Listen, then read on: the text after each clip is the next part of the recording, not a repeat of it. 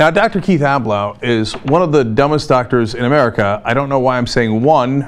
He's got to be the title holder, at least the intercontinental champion of dumb doctors. All right, now he's a Fox News contributor. He's on their medical A team. I hate to see who's on their medical B team. Now, he's going to talk about the shooting that we brought you yesterday. Carl Reeves Jr., 71 year old uh, former cop, gets in a fight in a movie theater over another guy just texting his three year old daughter. Apparently, this Carl Reeves Jr. character has done this many times before, not shoot people, but accost people for texting. We just found out in a separate article that Tampa Bay uh, Tampa prosecutor Manny, Manny Garcia said that he'd done it to a woman named Janine Dixon on December 28th. That not only had he scowled at her throughout the movie, uh, throughout the movie, not just in the beginning when she was texting, but like, right? But that he had followed her into the bathroom. How scary is that? When they talked to her, she said it could have been us. I mean, if we had confronted him in any way, we could have been the one that was shot. Uh, multiple witnesses came out and said this guy uh, definitely clearly picked a fight. And in fact, the judge even said the evidence of guilt is significant, but not to Dr. Keith Ablow. He has a different theory. Let's find it. I think we may have to look at something I'll call data rage, just like road rage. We know that when people interact with machines, that sometimes they feel emboldened to do things that they never would, that it can be tremendously frustrating, and that people who could be vulnerable, by the way, they may be impulsive to begin with or explosive, add in technology or a machine, and things can go over the, uh, you know, over the top But- but and become very violent. But wait, wait, wait, wait, wait, wait. The guy texting isn't the guy who used the gun to kill the other guy. He's the one who got shot. He's the one who got shot. What do you mean? Data rage. What is that? Now, you know why they're doing this, right? Because the guy with the gun is never guilty. I- I- the guy who got shot, well, it was his fault. He had data rage. But he didn't have the rage. He got shot. That's such a stupid theory. Even the Fox News host is going to call him out on it. But Dr. Ablow, I should say, it sounds like you're blaming the victim. I mean, it's the victim here who was at all. allegedly texting. We've got to blame the shooter here, but in understanding it, we've got to say, wow, that's interesting. There was a machine involved.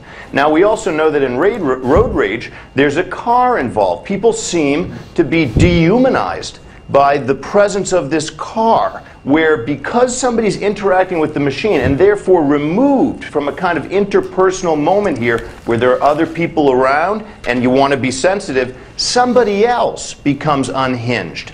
In interacting with these machines, people do things they would never do, and not necessarily the guy pressing the button. It could be the guy two rows back.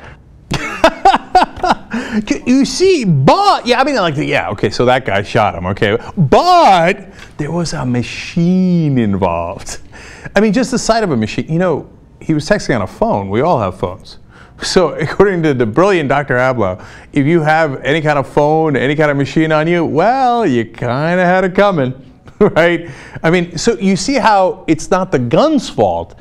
It's your phone's fault. You're texting your three-year-old daughter. By the way, before the movie starts, yeah, come on. What was the guy gonna do? Not shoot you?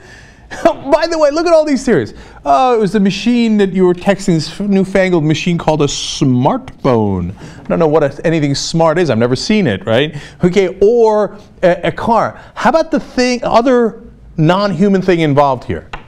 Right, the one that the thing that shoots bullets that goes into people and kills them. How about that thing? No, no, no! Look away! Look away! Look away! It's not the gun! It's not the gun! It's not the gun! All right. So, well, data rage. Uh, on the upside, I mean, that's obviously a well-established psychological theory, right? I mean, Dr. Ablow was a doctor, and I'm sure studied this in law school or some. I'm sorry, in medical school or something, right? Let's find out. This phrase you use, data rage, right? Yes, Uh, I, I came up with people, that. uh, You did. Oh, Are there really? other people talking about this as influencing our behavior?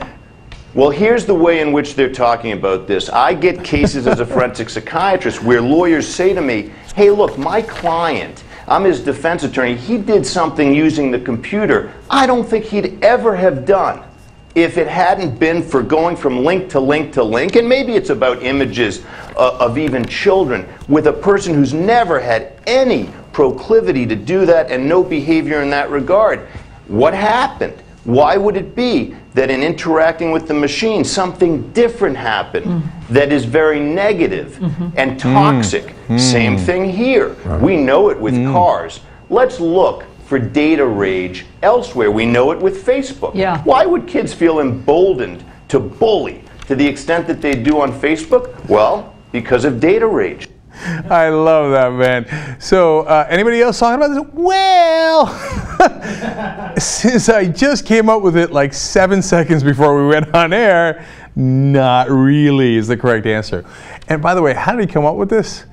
You know, if you notice in the middle there, you know, people on this machine called a computer with a series of tubes that leads to another machine called the internet doesn't quite understand it. Go link to link to link, and you know they get a raging something. I wonder who's doing that at home. And then when he's caught, says, "Oh, honey, it was data rage." I'm sure it was, Doctor Doctor Ablow. Oh God, if you go to this doctor, God help you.